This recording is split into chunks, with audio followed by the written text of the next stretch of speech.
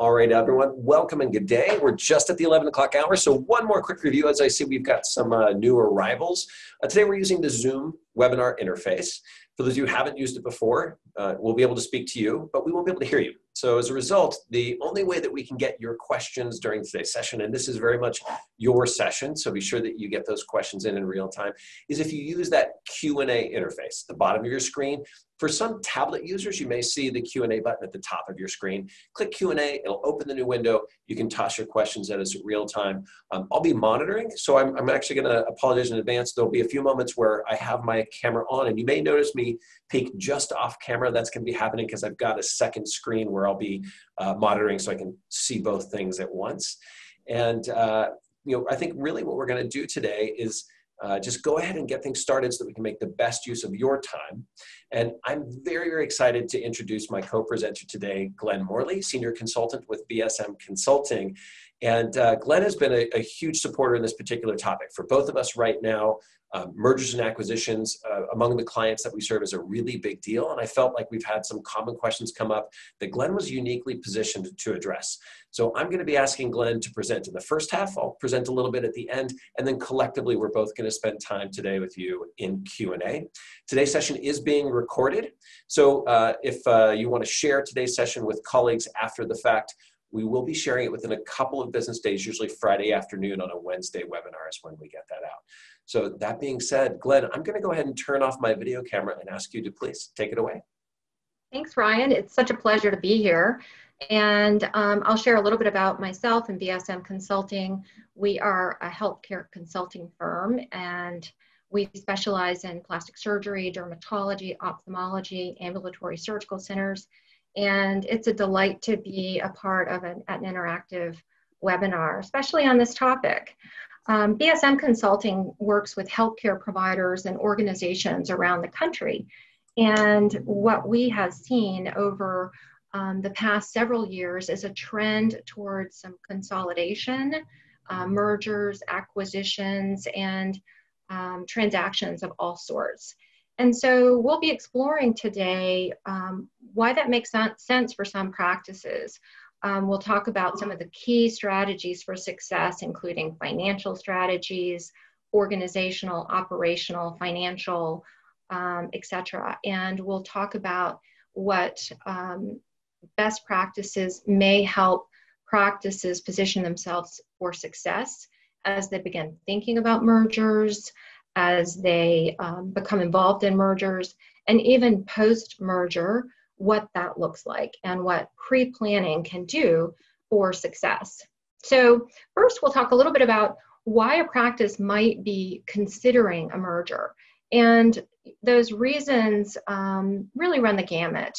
Um, in most recent months, um, uh, March, April, May, um, those were quieter for transactions, but starting in late April and sort of ramping up since then to now, where we are today, we've seen a lot of increased activity in um, in in mergers, and um, the primary reason uh, that we have seen is overhead expense relief, um, succession plan interest, um, the interest in gaining a competitive edge in the marketplace. And so there, there are a lot of things in play for a lot of different practices. Um, many different things can be a catalyst um, for this, including another practice potentially being interested in you. So uh, if, um, if that's your position, if you are thinking in terms of, you know, what, what can impact our valuation, this course is also for you. So we're going to talk about a few different things that can be success factors or stumbling blocks, depending upon how you look at it. Um, and the number one thing that we talk to clients about at the very beginning when um, a merger is even contemplated is are the two um, organizations aligned from the standpoint of mission, vision, and values? And what does that mean? So um, we we see practices whose owners are in alignment, they like each other. This seems like an excellent idea to go forward. But when we drill down to what the corporation or the practice mission and vision looks like, sometimes those are not aligned. Um, sometimes the culture is very, very unique in one practice, and um, it's very difficult for another practice to adapt to that unique culture. And then values. Values is you know everything that um, goes into how you you make decisions every day, how you um, the decisions you make around hires, around um, how you care for patients, around how you develop individuals that are part of your organization. So these are critical success factors and understanding how well um, you are aligned as an organization with another organization is absolutely critical. And so that's going to be a first step that you should really put some time and, and um, effort into thinking about and seek out great resources for um, you know kind of work throughs for two different organizations to ensure that alignment exists the second thing that i'll mention um, and it's self-evident for some organizations not so much for others and i mention it because very often we will hear about problems after a merger has begun after two organizations have attempted to merge without any external professional help. And they run into problems because there's, you know, potentially a critical step that was missed. Um, it may have been step number one are our cultures aligned? Um, but there can be a myriad reasons why um, it may be really important to seek out um, advisors as you enter into merger conversations. Those, those advisors, in my experience, certainly include a practice management consulting firm, um, attorneys, um, advisors around tax, compliance, um, risks, risk management and mitigation, um, account, accountants. Um, so don't neglect to seek out professional ad advice. number three on the list of things that we really encourage practices to do is great due diligence. In fact, it's impossible to do too much due diligence um, in most situations. Um, so I'm involved right now in a merger, and we're really in the beginning stages of this merger. And to date, some of the due diligence that has been done includes um, on site practice evaluations, operational assessments, um, financial assessments of both organizations. Um, some of the um, some of the key things that you want to look at are forecasts and um, projecting what provider revenues will be after a merger, what kind of staff consolidation can occur as a part of a merger. And so a five-year forecast is very commonly included as part of the due diligence um, when I talk about operational assessments and practice assessments, both parties really want to know um, both the opportunities that exist emerging, but also the risks. And uh, what we're trying to tease out when we do an operational assessment is not just those two things, but it's also what are the best practices for each and every operational um, protocol or process. And if it's two, let's say it's two solo practices, and we are looking at um, a single process, what what is the best practice? Which organization does it better, if you will? And can we adapt that best practice to the larger um, organization once it's merged? And so, you know, in simplistic terms, this looks at every single step of the patient journey, every operational piece, um, all the moving parts within a practice, and examining how each of the two entities performs those and um, if either is embracing a best practice, if so, can it be adapted?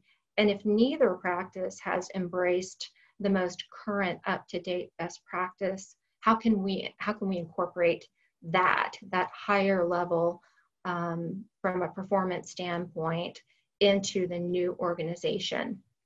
So no unexpected surprises because completing due diligence is just one of those key steps that we recommend to every client contemplating a merger. Um, number four um, is not having a post merger plan. So uh, you just heard me sort of talk about the due diligence that we do prior to a merger. Out of that due diligence comes that plan. Um, part of the plan must involve excellent communication. Um, and we'll talk a little bit more about the hazards of not having excellent communication in a minute. Um, but excellent communication means that at the onset, you are creating work teams in both organizations. Um, and then for the, the newly merged organization, um, another work team. And you have a checklist. Um, we actually have a merger checklist, which I'd be more than happy to share with anyone. And um, and having uh, plan A, plan B, plan C, plan D, you always want to have a backup plan um, and a little bit of um, a flow chart and how things should go. Ryan, do you see the same thing when you are working with practices? Yeah, absolutely. I just take a moment and mention that um, that resource that you that you offered to share. If you don't mind, I'll I'll take a PDF of that from you, and when I distribute okay. the recording to everyone and we publish that, I'll make sure to to get that resources in, uh, included as a download for anyone who's contemplating it wants that checklist. But definitely that that plan for what happens after after the merger or acquisition um, is such an important step, and we see that so often overlooked. And Ryan, are you um, are you involved pre-merger um, often with your clients when when you have two different entities? You may be working with one and not the other. Are you are you frequently pulled in pre-merger to uh, assess best practices for both? Yeah, we're more often pulled in, in, in one of two ways. So the most common way that we engage in the, the merger and acquisition game is actually post-merger um, when there is a new imperative from the, the stakeholders, whether it's an independent investment group, the new shareholder group, that's a joint group of, of physicians, um, or mm-hmm. private equity that's backing the group, and they they they now really want to see significant growth. So that's the most common thing. But we've had a, a, number of occasions where we've actually had to participate on either side to assist with valuations, looking at online presence um, and digital assets as a contributor to practice valuations. And that right. comes up a little bit less often, um, but uh, uh, you know, it's certainly you, you have the opportunity to look at the advisors around you um, and leverage them to help you put those plans together. Right. Are you a part of assessment of um, of systems to understand which practice may have a better system, if there if neither is um, using a best practice and making recommendations at that point? Yeah, and more often, Glenn, what we're looking at there would be the level of sophistication in um, the lead generation apparatus. So, how effective are they bringing new patients in? Mm-hmm. And then mm-hmm. also um, get engaged to assess what's happening in terms of communication standards. And um, you know, we can see fairly significant disparities often between the merging parties, uh, where there's usually one that has uh, invested more significantly in, in communications and technology, uh, where they are offering SMS customer service, they maintain a contact center, and uh, a you know, emerging partner who perhaps is still trying to figure out how to deal with email. So, you know, understanding what that's going to mean for those two cultures as they come together is a big part of where we focus. Yeah, well, that's so interesting. Um, so, and um, obviously, having that plan is absolutely important. And um, as I said, having what if scenarios also um, in place is critically important.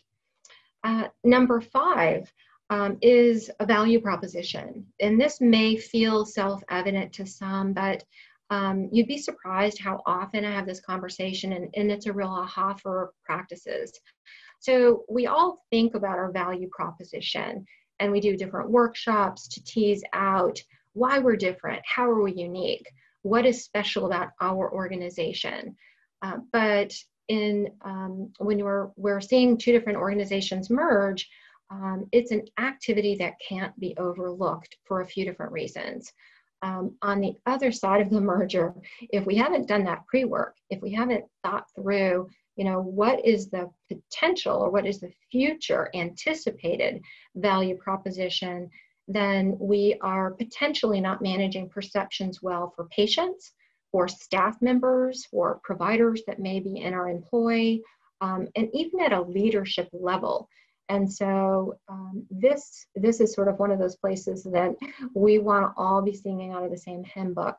And it also offers opportunities to get some excitement um, because some of the opportunities from a value proposition standpoint that I've seen include for, for an organization, obviously, um, it may be better contracting with a third party payer.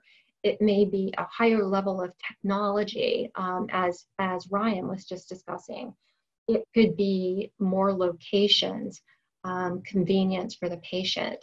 Uh, it could be a higher level of expertise. Um, I work with a dermatology practice right now, and they are potentially merging with a Mohs surgery practice. There's an enormous value proposition in this for both the general dermatology practice and the Mohs surgery practice. And a new provider entering the equation who offers um, pediatric dermatology adds even more of a value proposition. And, um, and so, you know, internally for the team members of that organization, it's really important um, for the team members in the general dermatology practice to understand that we are now going to have this additional service line or two additional service lines, um, which offers enormous, you know, potential for our organization, but it also provides these additional services um, which our patients will be able to access in a really smooth and unique way. And so that's a feel good for staff. It's a real feel good for patients um, who who often want kind of one-stop shopping. They want to come to one place. They want to have trust in an organization and not have to go to several different practices um, for um, things that could potentially happen with their their um, chosen practice. Um, other value propositions that we often talk about at an ownership level include risk mitigation or um, proactively managing the marketplace that you are in. And so, um, back to that dermatology practice with a Mohs surgery practice, um, with all of the consolidation that is happening right now, um, it can be a potential risk for a solo dermatology practice and a solo Mohs surgery practice um, it can be a risk for the, both of those organizations um, if they're in that consolidating environment and they are a solo practice. And so um, merging these two practices together in this particular um, region of the country that has more solo practices than merged um, means that they will have um, a built-in referral network. They will, you know, have more patients um, and better contracting, better risk mitigation. They'll be able to offer staff uh, more flexibility in scheduling, um, potentially more opportunities for remote workers. Um, and you know those, that value proposition goes on and on. Um, and um, retaining top talent can often mean something like you know having flex hours or being able to, to work remotely and so utter clarity about your value proposition post merger can be such a, um, an invaluable um, opportunity. The sixth thing that I'd like to sort of talk about and touch on is um, the risk of losing or the difficulty in retaining top talent. And this is something that, you know, has always been a part of practice management. And um, we, um, we see great opportunity for retaining top talent during a merger if there's good communication and Ryan mentioned that earlier. He mentioned communication, I think, three times in the short time that we were talking. And communication is what it's all about with team members when we are potentially merging two organizations. And so, what does that look like? Um, we very often will see um, small groups formed and the merger task force. And it can be a merger task force in both organizations as well as a, um, you know, a united um, task force post merger. And those, those task force are comprised of a representative from all areas of the organization. We um, worked with a practice not too long ago, and there was someone from the customer service department, from scheduling, clinical nurse supervisor, a physician MD, um, uh, employee, um, leaders or of the practice at an administrative level, um, accountant, attorney, practice management consultant. Um, this was a powerhouse team. But one of the most beautiful things about this task force team for this organization was great representation of all of the people um, that each one of these individuals represented. And so retaining top talent was an, an absolute focus for everyone, but we had different perspectives on what that looked like and um, what good would look like during the merger. So, transparency, um, empathy, and excellent communication is a best practice that we endorse. Glenn, let me ask you a question. One of the things I've noticed with among our accounts is I, I think that they're um, in larger groups that perhaps have had experience with past mergers. I, I see um, uh, a more, I think, mature or strategic approach to communication during these mm-hmm. moments. Mm-hmm. Um, and surprisingly, the smaller, more intimate mergers, uh, two two private practices coming together, three forming a group where um, this is overlooked. And, and what I experienced recently with, with one of our, our clients was that they lost a very important member of their team mm. um, for the lack of communication internally about what was happening. Mm-hmm. And as I was reminiscing with the doctor of the moment and what we might have learned from that, and you know, my, my advice back was simply that in the absence of information, people will invent their own stories about what's happening. So true. And mergers and acquisitions are incredibly stressful on teams. There, nobody knows what's happening. Everybody worries about job security. And um, this person just didn't believe that they were safe in that environment and chose to leave um, to go to a place where they just simply wouldn't have to deal with the turmoil associated with the merger. What's your experience or your advice, especially for smaller groups, like private groups that are looking to come together, about um, how and when uh, to start the conversation about the merger and a frequency of updates that are important, you know, that, that, that are appropriate to keep staff in the loop? Yeah, that's such a great question, Ryan. And you know, um, the first thing that I mentioned was mission, vision, values, right? And so it, it, it's such a critical piece um, for staff retention, whether you're considering a merger or not. And so it, it comes into play when we are faced with some of the most difficult or challenging or complicated situations um, in the practice life.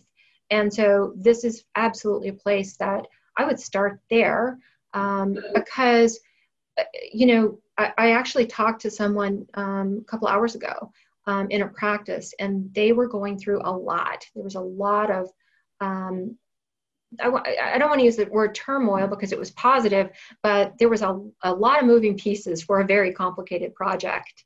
And what this person said to me was, I leave work happier than when I arrived. And it really resonated for me to the point that I, you know, kind of said, time out, let's talk about this. um, and her answer really resonated because what she was committed to was the mission she so believes in what this organization is all about and what they are attempting to do. She is game on, and so is every other individual in that organization. And so, you know, just by starting there and um, having passion around who you are, what you are, what you want to do, and being comfortable sharing that with the team. Um, and I see you doing this, Ryan. You are passionate about what you do, and it infuses everything that you do and when you when you bring a team into that passion and vision you have trust and commitment. And you've got to go into a complicated situation with trust. Um, and as um, bruce maller you know bruce who started bsm consulting he talks about having a tall stack of chips. And if you've done a great job and you have a lot of chips then when times get tough and you have to cash in a couple of chips, it's still okay because you've got a tall stack of chips with your employees or with an individual you're working with. And those chips are trust. And so I don't know if that answers your question around cadence of communication. That's going to change um, or be different for every organization. I can give you examples of what that has looked like in successful communication. Um, I work with a um, with a solo practice, as you said, that can be a challenging environment for communication or not. Um, this particular organization has been very transparent around interest in merging, but not why they are interested in merging. And that's that's um, because the why is something that could be unsettling for the employee team. Um, and it's not a bad thing, but it's the timing of communicating that is going to be strategic yeah. uh, because yeah. it's it's you know there's no it, it's there's no reason to cause any upset when that reason can be given and the solution given at the same time it's a it's a you know um, a happy ending no matter how you look at it but they are being very transparent everywhere they can in the most important things that will impact the employees and um, the cadence of that um, aligns with the cadence of their typical communication. It ramped up a little bit um, as the merger, um, you know, task force were formed, um, and then the communication was, you know, very very frequent during a merger, and then post merger it stays pretty intense communicating. Um, and helping teams learn better and different communication post merger that's a whole different area that can be a standalone webinar. Excellent. Thanks. yeah, yeah. So um, number seven, um, and this is this is something that I'm sure a lot of you are are familiar with. Um, is having a sacred cow or a unique process that um, is really um, difficult to shift during a merger, um, it, it's important in the front end, you know, when we're exploring culture, we're exploring operations, to not just understand what those differences are, but if we identify differences, to understand how adaptable each team will be to change. Um, and pointing out the, the areas that we're alike um, is really important and minimizing the places that were different can be important. So the more that we can do that, the better. Um, it is, um, I always think in terms of change being something that I would like a team to come to um, on their own. And so we may we may know the change that we'd like to see happen, um, but starting with why can be very helpful to help individuals or organizations actually implement change um, and guiding people towards the right decision about change uh, means that sometimes it can become their idea and that uh, flexibility and adaptability becomes um, a lot easier. So have it, at the end of the day, two merge practices need to embrace one common way of doing things from an operational level, from a patient management um, standpoint, from a branding and brand articulation standpoint, um, and learning who you are as an entity um, and understanding all of those value propositions that you will have as a merged entity means that um, we're able to communicate those effectively um, to patients, um, among teams, and um, and be successful both during the merger and post merger. So let's talk just a second about why why man, mergers aren't sometimes as successful.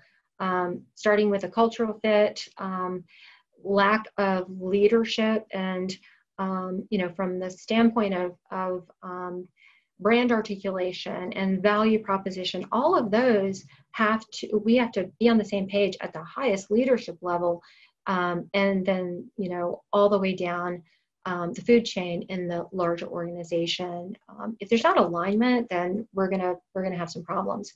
Um, too much focus on the valuation and not as as much needed focus sometimes on some of these other things we're talking about. Um, not focusing on key operational considerations can be a huge stumbling block. And we talked about that as well as lack of communication. Um, and then the last that we haven't really talked about is inaccurate or unrealistic revenue or expense projections in the pro forma. And these can um, be mitigated um, by additional due diligence, testing the theory, understanding market dynamics. Um, so none of these stumbling blocks are things that can't be overcome with good planning and um, and um, uh, focused um, intention. Um, so some of the best practices for successful mergers are alignment in these areas and um, I would um, challenge anyone that is considering a merger to go through the checklist that we'll provide and identify areas, do a, a sort of self evaluation, if you will, to understand where your weaknesses and threats and opportunities um, and strengths are. A SWOT analysis can be very helpful as you contemplate um, a merger. Thank you so much for allowing me to be a part of, of this um, webinar with you, Ryan. It's been such a pleasure, and um, I believe we'll have some Q&A at the end. Absolutely, and I'm going to switch over there and uh, get uh, my slide up on the screen for us to share. Pardon me while I do exactly that. Uh, Glenn, go ahead and uh, disable the sharing on your side. While we're doing that transition, for everybody that's uh, on the call with us today in uh, the live session, what I want to invite you to do is um, if you had the questions that came to mind as you were watching Glenn's presentation, just to remember to use the Q&A feature at the bottom of the screen. You might see me glance off to the side uh, as we're doing this next section here, and we'll um, be referencing my second monitor where I'm going to see your Q&A. So we make sure we get those, those questions answered before we wrap up today. Um, I'm going to, as, as Glenn and I talked about just in the beginning a little bit, I'm going to focus on the other side of that merger acquisition where uh, Interactive more often gets involved. Very often when we're brought in after a small group is formed or a large group has established some uh, really ambitious revenue goals and is looking to reach and acquire new patients into the practice. And so really what we're going to be looking at are the challenges, really four specific operational challenges that we've experienced firsthand with the, the large and mid-sized groups that we serve. Um, you know, just a tiny bit about myself. I've been involved in uh, marketing for the medical industry for about 23 years now. Uh, I've had Etna for just over 18. Got a great group of people that are based out here in California, but we work with clients all over North America, and we pretty much do all things online marketing. Now, um, the first challenge, and I think uh, this is the thing to ask yourself, is are you not in control of all of your local listings and social profiles uh, if you're in that post merger environment? And um, while we see this, uh, I think, with probably every new group client that we onboard, uh, I'm forced to think about a, a, one of our, our newest clients that's joined us. They have about a half dozen locations, but just over 200 providers. And they had actually had a series of mergers over uh, the last five years.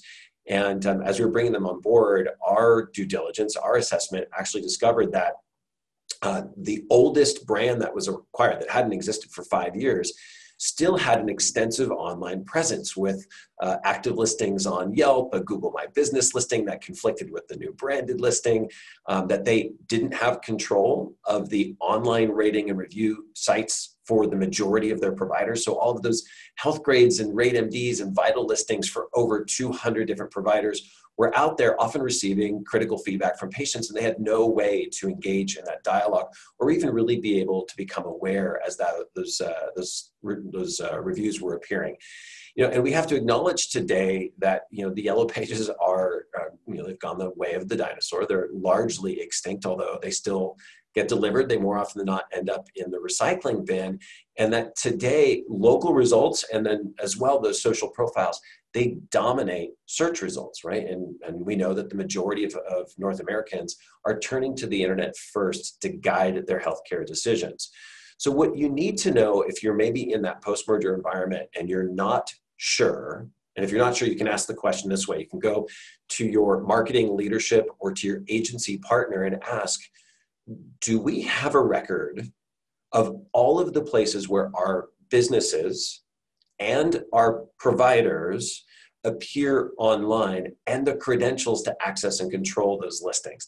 And if the answer is no, a couple things you need to appreciate. In it's completely normal in those group profile uh, group environments. Profiles do tend to proliferate, especially if there's been brand transitions over the year or movements of providers in and out of the practice. But that inconsistency, um, unreliable naming conventions, uh, uh, a lack of a clear brand reference across your location, all of those things directly impact how and how often you're going to show up in local search and can actually reduce your market opportunity. It will keep you hidden. Inconsistencies can keep you hidden from patients actually finding you when you want to attract new business. And um, it's a difficult thing, I think, for some, some business leaders to accept. But today, patients may more often learn information about your clinics on properties that you can't directly control. So they, they're less and less often actually making it to your website and they're getting things like your phone numbers, your hour of operation, which providers and procedures are available at which locations from sites like Google or Yelp. So how do you get control of these things? Well, ultimately you need to catalog all of those existing profiles that are out there and make sure that you have the credentials to access and control them when you do that assessment, you're likely to find that you have a disparity of, of ways that you talk about your business. And you need to decide at a leadership level what do you expect your marketing team or the agency that you hire to control? Some large groups will say we're really only going to focus on our locations, right? The, the physical presence, because it's just too much work to try to keep our hands around all of the listings that are out there on the internet about your providers. And that's okay. Others will say, no, no, we need to have a better handle on our brand and what's being said about our providers. So we need to capture all of those things. And deciding what that strategy is, how much you expect of your team is going to be important so that they can do it well and be successful. Then we want to leverage, whether it's an internal team or the agency, to go through what can be a very arduous process of regaining control. Often we find that there are listings that were set up a, a decade ago. They were uh, established by a nurse or a practice manager, and nobody has anymore the login and password that's required to get in there and update the address or the phone number of your hours of operation.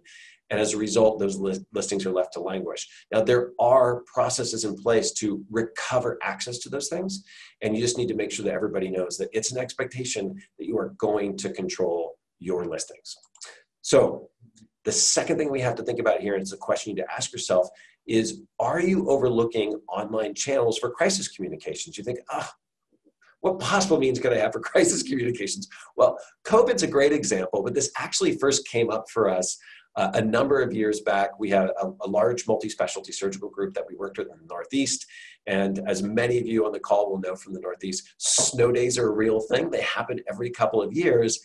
And the process of um, especially for groups that may run a contact center where some locations are closed and others are open and need to continue normal business operations, but all communications are handled inside of a contact center, it can be debilitating for a, a, a larger group, especially a multi region or multi state group, to get clear messaging out about what's happening at one or more locations when you don't actually have either that control or the plan. So a couple things that you need to know. Critical events, we've seen this firsthand. I know it's a real thing. They can completely overwhelm a contact center if that's how you're going to run communications. And it can take and it can exacerbate a problem. Where if just a select number of offices are dealing with a crisis or they're dealing with it in a certain way, that event can actually prevent normal operations and seriously disrupt revenue in the rest of the network. So it's important that you know um, and you have an infrastructure in place to support that. And that simple things like adjustments to hours, alerts, right? During COVID, how important was this? That they either need to be broadcast um, not just on your local profiles, like your Google My Business listing. It's often the first place people are going to go. I'm sure everybody on the call has done this during COVID. Check to see is my hairdresser open yet, right? Um, like that vehicle, that medium is important today.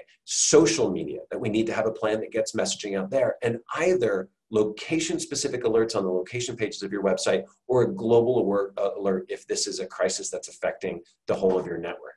So how do you master the situation? What what projects could you take on to do better at this the next time this comes up? You know, hopefully we don't have a situation where we're looking at a resurgence as we get into the fall of the COVID and that in select markets we might see rollback, but it is a real possibility. So now is the time to take control of this. So document the protocol, right? Give give your team a plan for success, something that they can fall back on, because in the midst of the crisis, this can actually be a, a real lifesaver. Um, in addition to that, you can deploy enhancements now that empower your team to quickly broadcast those location, uh, those updates on individual location pages or site-wide um, without the need necessarily to interface with a, a, web developer or a support team so that you can more uh, efficiently and more quickly get important notices out to the public. So the third of the four things that I want to challenge you to think about today is, are you leaving online reputation specifically to sort of take care of itself. Now, the thing I want to acknowledge in the midst of joining practices together or even just running day to day a really large group, um, taking time or energy to focus on a reputation uh, can seem like a distraction, right? It can seem like a, uh, a want rather than a need to do. And the couple things I really need for leaders in group practices to understand is that reputation today, especially in the medical space, is more important than it's ever been, and it is one of the major drivers for your long term success. So, what we know dating back as far as this report that was published in uh, early 2018 based on data that came out of 2017 is that doctors were already third in review popularity after only dining establishment and hotels, right? So, we we were trained originally, we became accustomed to reviews in um, the travel and leisure space, but very quickly they become central to the way that we approach healthcare decisions. And I'm I'm forced to think about, you know, Glenn talked a moment ago about due diligence. Um, and I'm forced to think about a, uh, a large group that we worked with uh, that um, whose diligence prior to us working together did not include examining the online reputations of the clinics that they were acquiring. And what we saw as we looked at their performance data for the previous two years, that the there was a direct correlation between those clinics who were financially underperforming and those clinics who came to the group with a bad online reputation. Because what many leaders need to understand is simply changing your brand. If the clinic is staying at the same address, it is very difficult to run away from a history of bad online reviews most of the major online review portals, the Yelps, the Googles of the world, will transfer the business reviews onto a new brand as long as there's continuity uh, of the same service category at the same location. Right? And so reviews like this, they're never answering, they're never communicating. I made my appointment, but when I got there, they never told me that they stopped accepting my insurance, or worse, a review like this that says, I haven't even been into the office. And I'd recommend you don't go there because my customer service experience was so bad. And this is very much in keeping with a series of um, studies that we did. We looked across a couple different industries. This is actually the, the specific chart for ophthalmology. The data is slightly different, but the order is exactly the same we found in dermatology and in plastic surgery, uh, was that negative reviews most often were about common service concerns. Um, uh, poor communication, poor attitude, time management issues, feeling rushed in a consultation or being forced to wait too long, and things like the outcome, things like the cost or the value of the services very, very rarely were coming up. And what we know from studies more recently is that about 60% of healthcare decisions and this is US data. I know we've got some Canadians on the call with us today. About 60% of healthcare decisions are directly linked to online reviews. So this stuff we know matters. So what you need to know is that right now, reviews that are deposited specifically on Google are going to offer the greatest benefit for your clinic because um, those reviews, especially when they're positive reviews, are going to directly influence your visibility in Google local search, those map search results, which for many of our clients today can account for 54% or more of all of the reviews coming from Google, or the traffic coming from Google back to their site. Now, um, how good do you need to be? Well, the good news is you only need maybe this is bad news for some of you, but you only need to be four stars or better for each location and physician. Um, you don't need to be perfect. Uh, consumers have, I think, fairly realistic expectations in some cases. Now, they do value consumers' recency of reviews above all else. So, this means that you have to have a program that encourages patients to continually deposit new reviews um, because old reviews aren't seen as very trustworthy by patients who are about to have a new experience with your clinics. So, uh, among those people that are actually re- reading reviews, what's important to note is that 97% of those um, that cohort are actually taking the time to study how an office replies.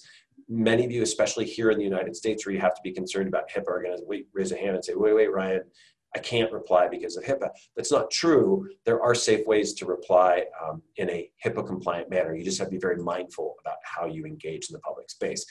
Um, but what's I think probably most salient in this is that you need to know that today, especially in a large group environment where scalability is a concern, that the majority of businesses are actually using software automation to help prompt patients to deposit those reviews. So if you're focused on, if you really want to try to take control of your online reputation for your physicians and your larger group brand, um, you really need to focus on training for and closely monitoring specifically phone and messaging skills. I know today it's not just phone, people are communicating by email, they're communicating by SMS, they're in chat applications.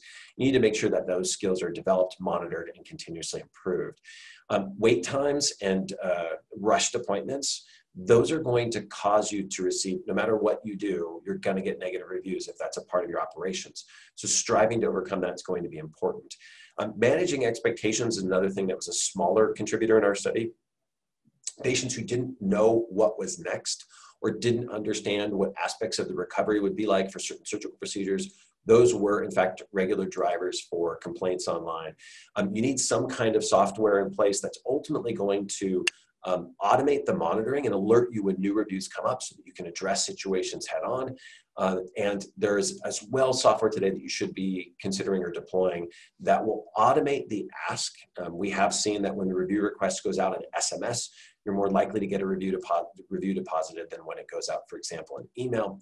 And then you've got some clear protocols in place to escalate patient concerns when they are um, appearing online and where you can see specific trends at the level of individual locations because in groups different offices obviously are going to have different reputation profiles online.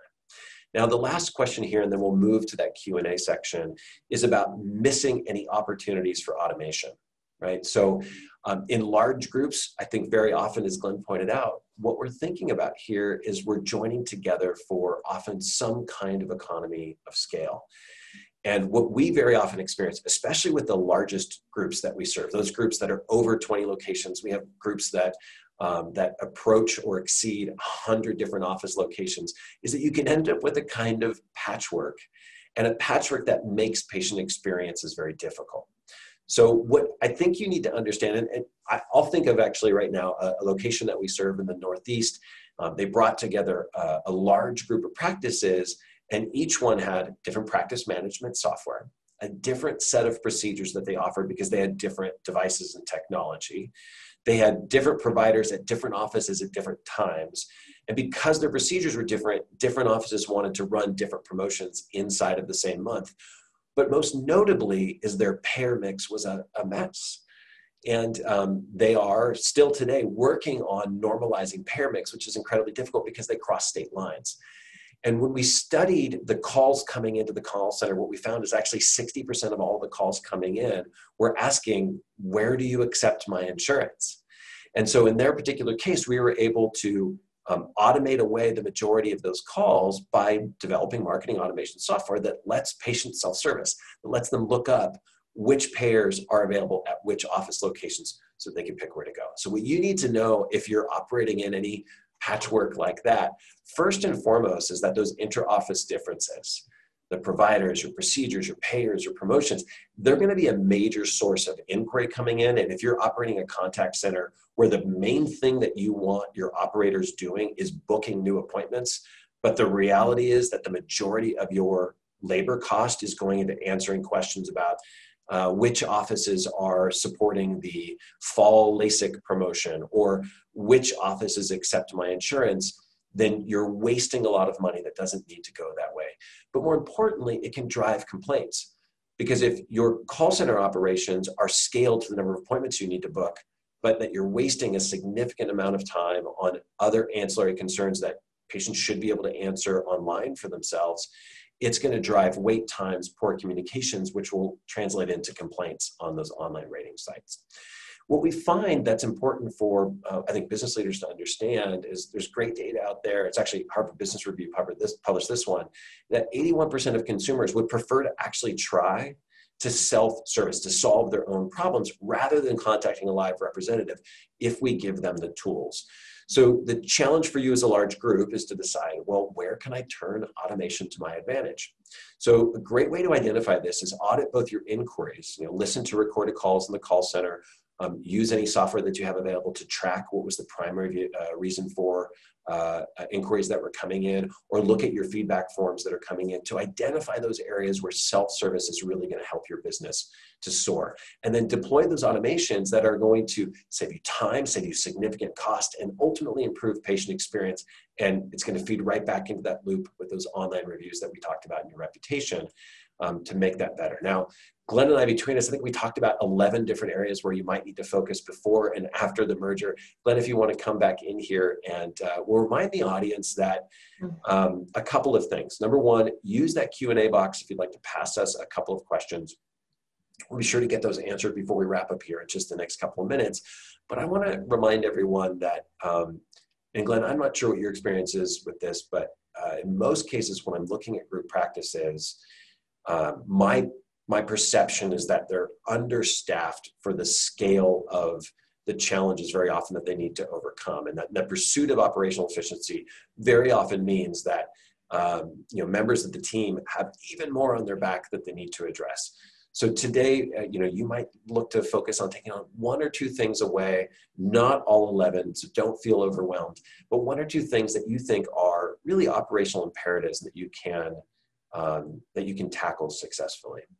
So um, for my part, if you want a copy of the, the presentation deck, you can email me directly. Um, if you're interested in our newsletter, you can go to that address there. But let's, let's just close out by taking a couple of questions.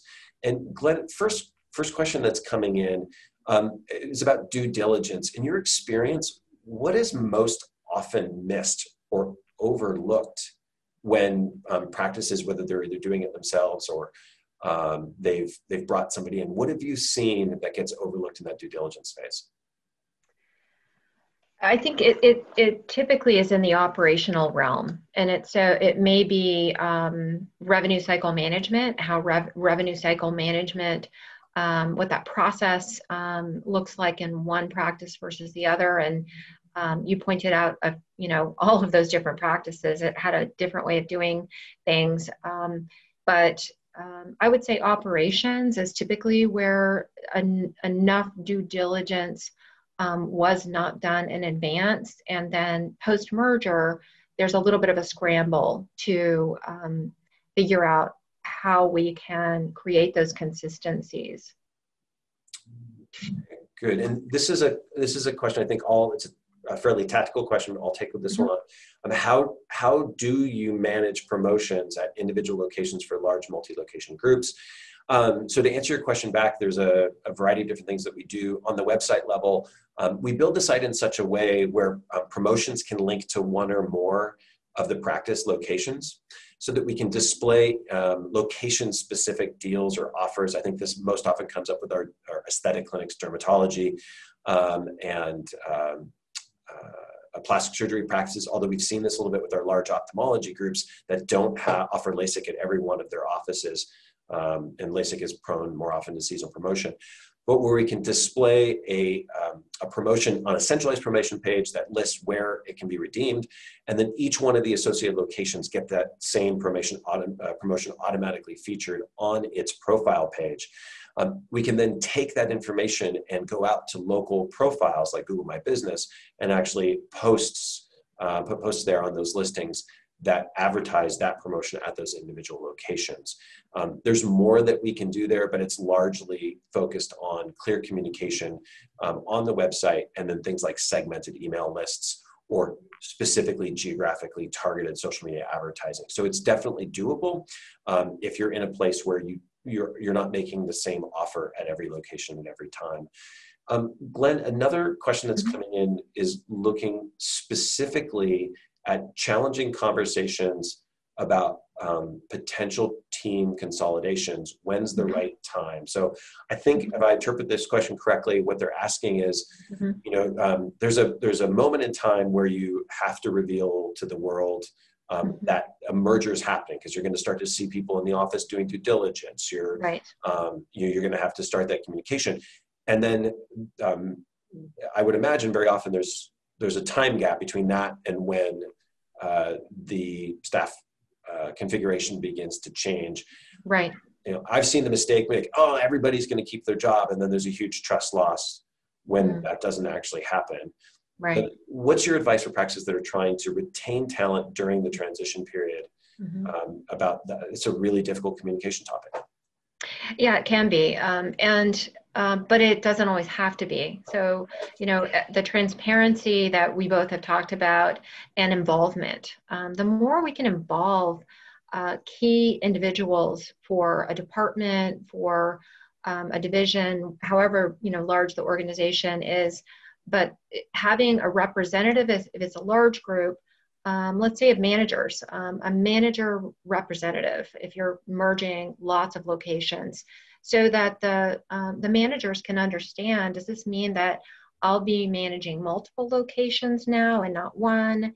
Um, and, and begin to answer some of the most pressing questions.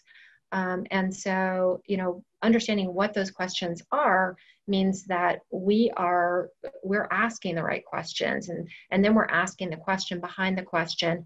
And so it takes time uh, it takes focus it takes a lot of empathy um, but we've become pretty good at it through covid having difficult conversations and um, you know dialing up empathy and meeting people where they are and at the end of the day um, if we've done a great job in you know bringing them in as part of our mission and then you know getting investment in the new mission then there's increased trust. So that's what we're always looking for is trust and and deserving that trust um, earning that trust um, so that we can manage through together. Excellent. On behalf of myself and my entire team i want to be sure to thank you and everybody at BSM for making your time available for, uh, for the webinar today. Um, as I mentioned at the beginning of the conversation that uh, this session's been recorded, so if you want to play it back or share it with any colleagues, you're free to do so. Um, it'll take just a couple days. We'll get that out on Friday, and I think Glenn has been gener generous enough to offer her checklist up. We'll include that checklist in the, the post so you can download that as well. Glenn, thank you so much for joining me today. Thank you so much. We love partnering with you, Ryan. It's a pleasure. Excellent. Good day, everyone. Take care and enjoy the rest of the week.